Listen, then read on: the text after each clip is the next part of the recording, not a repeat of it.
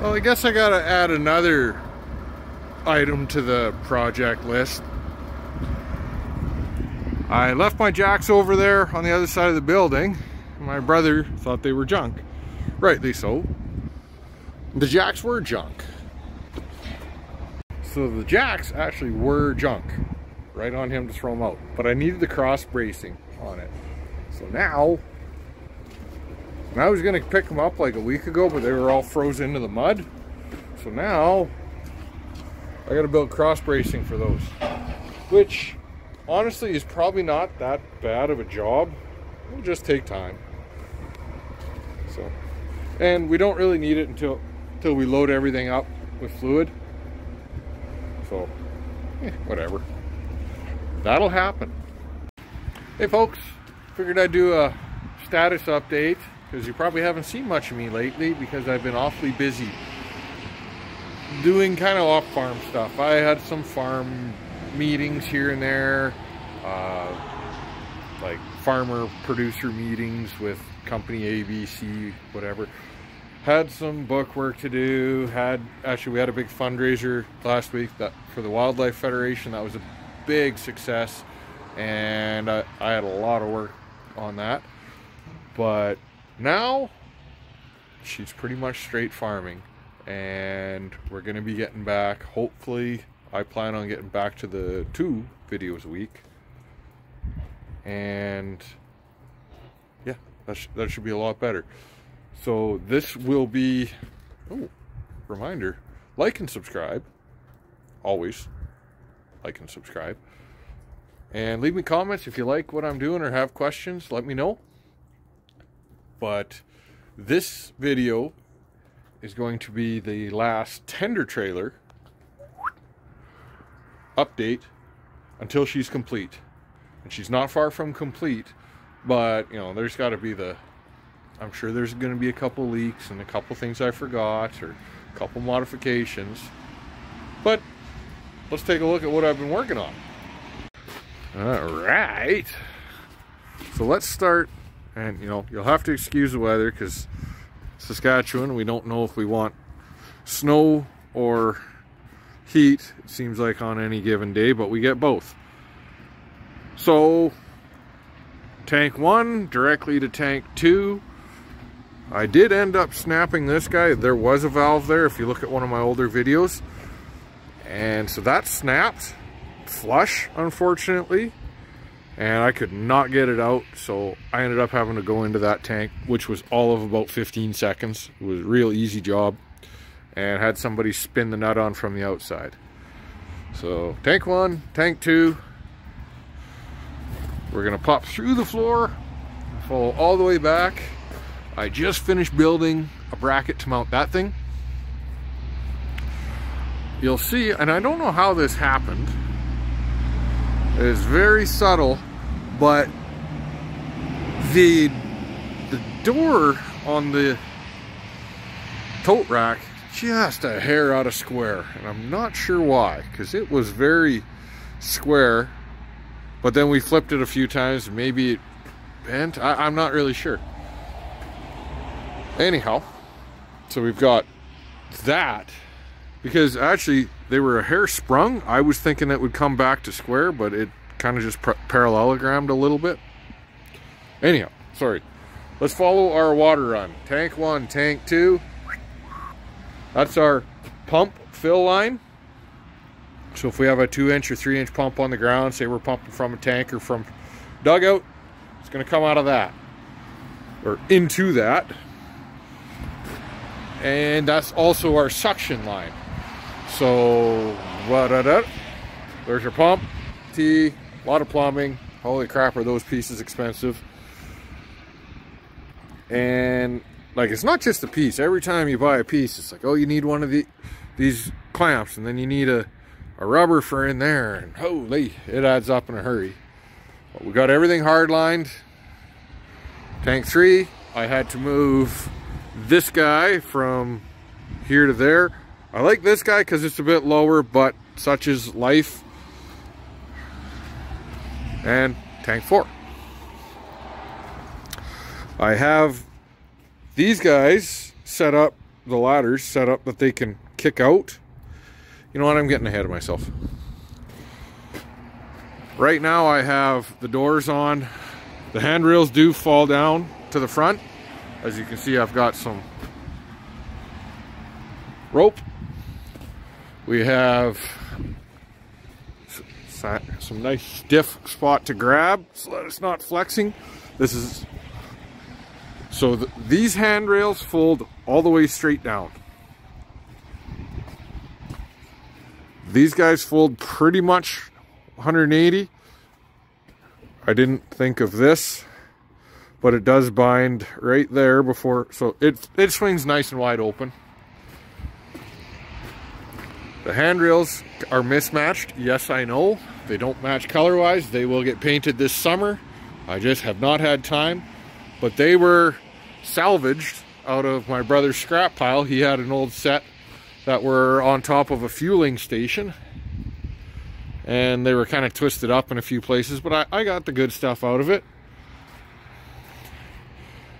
So I finished this bracket today on both sides. It's just needs to get properly mounted and welded. It probably looks not perfectly square, and that's because it's not. It needs to get kicked over just a little bit, and then I'll grind it into place, find, you know, weld her up.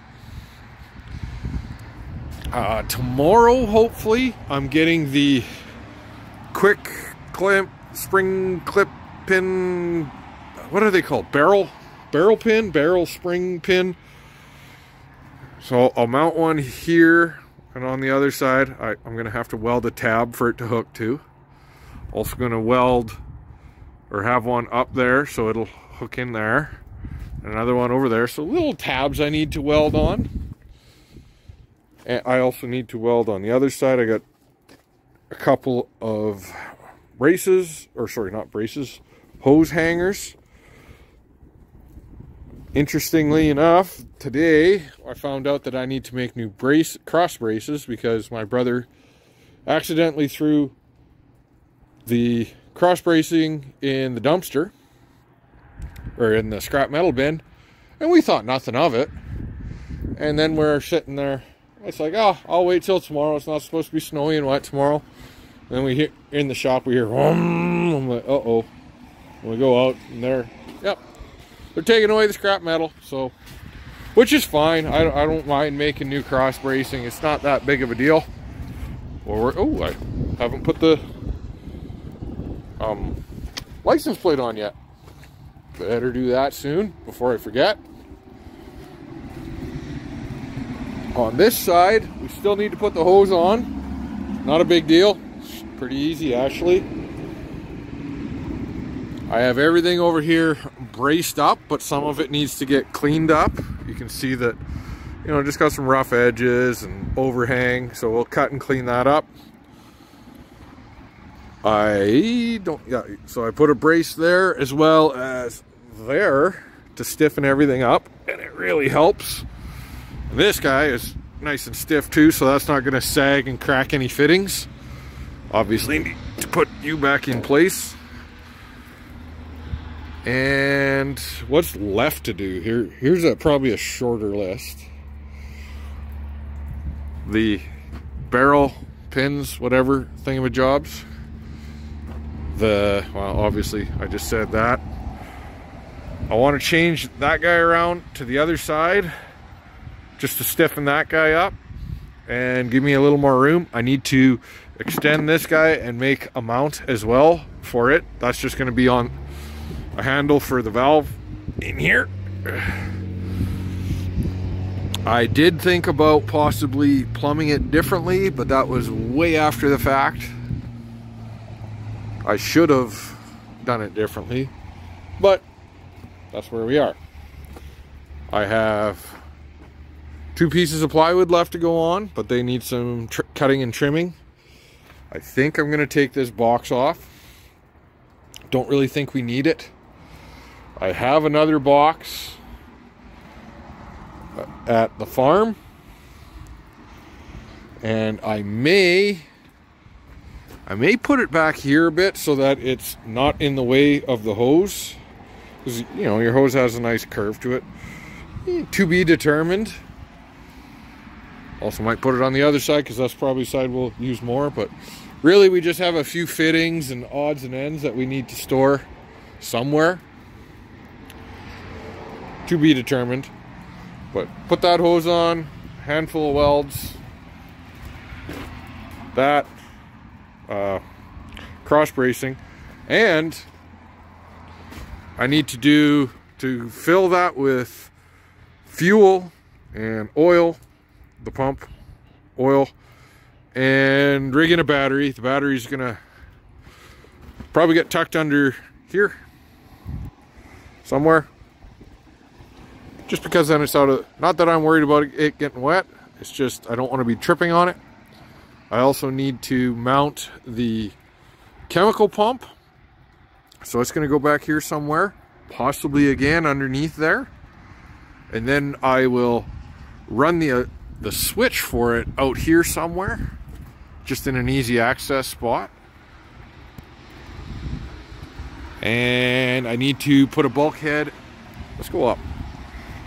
Need to put a bulkhead probably over here, just like this, so that we can direct fill if we need. And then it's probably time to test run once we're done all of that. Well, we will have to wait until it's not going to freeze much. Yeah, we're, we're getting to the the short list, I obviously got a bunch of junk I need to throw away. The problem is that it's very wet on the back side of the shop. But yeah, I'm very, very, very excited about this. I decided to kibosh the lights for now. But in the future, try and do this without falling. And I hurt my back earlier today too. It'll be fine tomorrow, don't worry about that. What I think I might do is run a like a seven foot pole right there straight up with a LED light on each side. Again, that can be done at a later date. Painting's gonna be done at a later date. You know, when my hands aren't friggin' wet and froze yeah, and probably find a few other things to do as things go on, but like I'm not really worried about that gauge in there, but I will fix it eventually.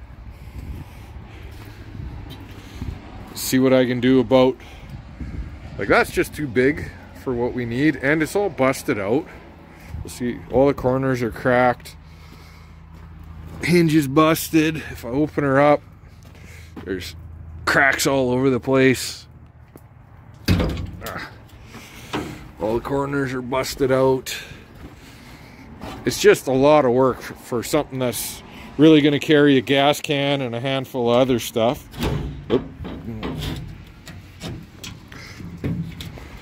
And so I'll probably, sorry, probably keep a gas can over there I don't see why we couldn't. But, oh, something else I need to do is plumb in my autofill system. I like to have it on this back corner somewhere. I have it in the back of my truck. I just need it to, it'll probably end up going probably here. Go straight up over to the other side. We'll see. Yeah, she's, uh, I'm very happy. I, if I'm honest, I wasn't very happy about four days ago because it just wasn't looking how I envisioned. But it was once I put the handrails and the the ladders on, I started getting quite quite pleased with how it's turning out. Aside from these, this is pissing me off that they're just out of square that little bit. So, next time you see this, you should, should be fully operational. Ready to go.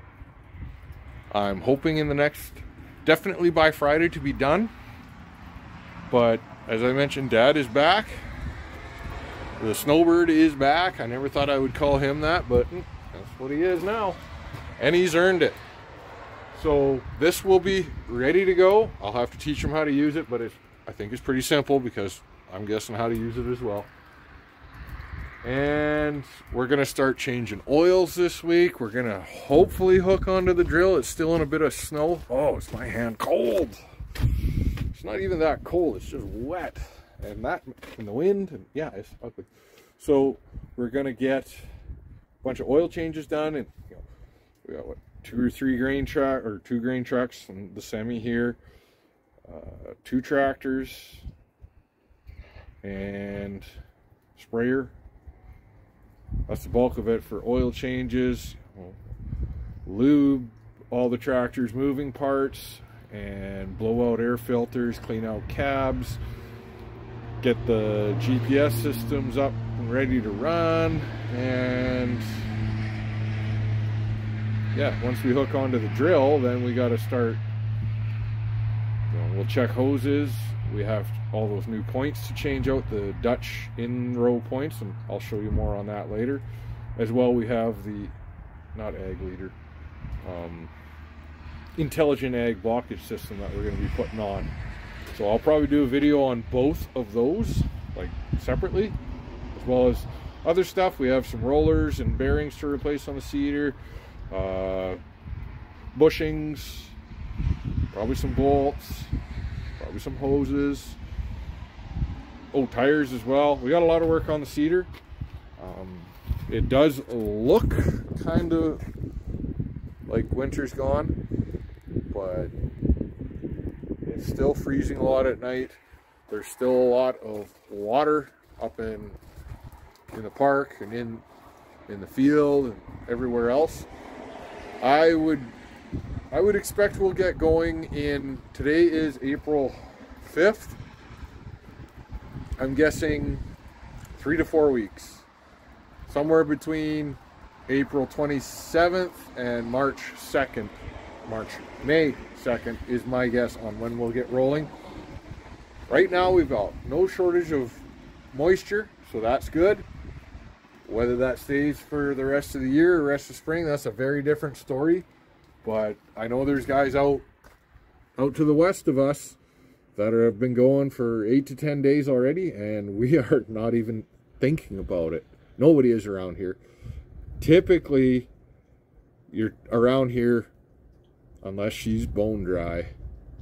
Like you get guys 50k south of here that will probably go in the next, I would say 10 days if conditions are right. Not very often you see it up here. Typically we're like I said the last third of April is about the earliest we ever get going. In 2020 and I should have been recording in 2020 because it was no fun. We didn't get going until May 7th because it was just sloppy and wet. And like there was mud and then there was ice underneath it was no fun. Anyhow stay tuned for more